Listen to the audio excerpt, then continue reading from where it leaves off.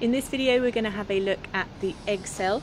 So this is one of the human gametes, one of the human sex cells, and it is also a haploid cell. So remember we have haploid cells and we have diploid cells. Haploid cells mean that they have half the number of chromosomes, so in this case they have 23 single chromosomes as a human. A diploid cell has double the amount of chromosomes, so this is either 23 pairs or 46 single chromosomes in humans. The scientific name for an egg cell is an ovum, and they are formed in the process called oogenesis, which happens inside of a female's ovaries. And this is a process that we will go through in a separate video later on. So with the egg cell, what you need to be able to do is annotate a picture of the cell, or you need to be able to identify the different parts of it in a, in a different way. You do not need to be able to draw this out. So we're going to annotate this picture that I have already drawn here of the egg cell.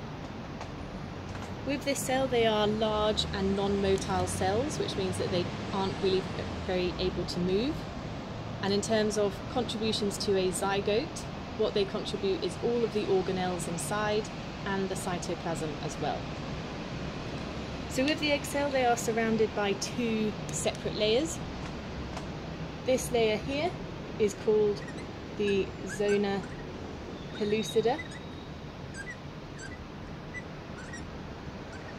And this is a layer of glycoproteins, or you might see it as labelled as a jelly coat. This acts as a barrier to sperm. And then the second layer is these bunch of cells around the outside, which are called the corona radiata. And this is made of a number of different follicular cells. These are there to provide support and nourishment for the egg cell.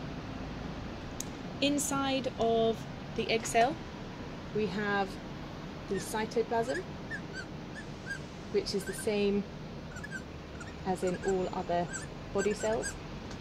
We also have a haploid nucleus. So again, that is 23 single chromosomes in a human.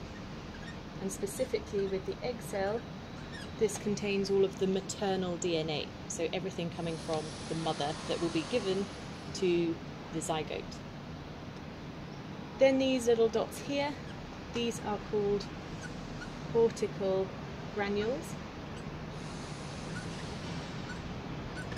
And they are there to prevent this thing called polyspermy, which is another thing we will go through in a later video, but it just means that it only allows one sperm to fertilise the egg during fertilisation.